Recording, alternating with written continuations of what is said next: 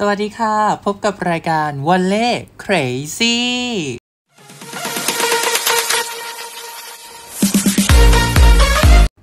สิ้นสุดการรอคอยของแฟนๆวอลเลย์บอลของไทยเรานะคะ เดินทางมาถึงไทยเรียบร้อยแล้วนะคะสำหรับทีมนักตบสาวจากบราซิลค่ะ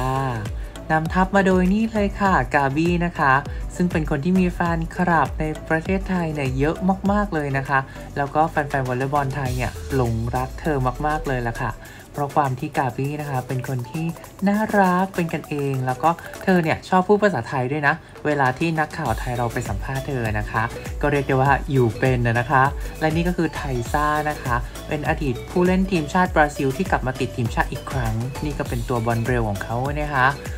โอ้ต้องบอกเลยนะคะว่าทีมชาติบราซิลขนชุดใหญ่มาแบบเต็มสูบเลยนะคะ มาที่เมืองไทยนะคะโหงานนี้นะคะ แฟนๆเนี่ยได้กำไรกันเพียบเลยล่ะค่ะ เพราะว่าได้เจอซูเปอร์สตาร์จากบราซิลหลายคนเลยนะคะ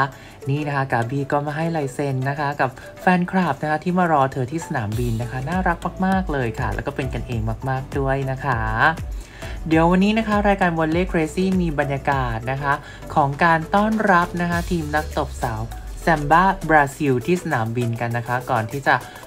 พาพวกเธอเนี่ยเดินทางไปยังที่พักนะคะ เดี๋ยวเราไปชมบรรยากาศกันค่ะ แต่ก่อนที่จะไปชมบรรยากาศนะคะ ฝากเพื่อนๆกดไลค์กด Subscribe และกดกระดิ่งแจ้งเตือนให้กับช่อง YouTube ของชนิส Channel ด้วยนะคะ และต้องขอขอบคุณนะคะคลิปวิดีโอ การต้อนรับสาวนักตบบราซิลที่สนามสุวรรณภูมินะคะ จากช่อง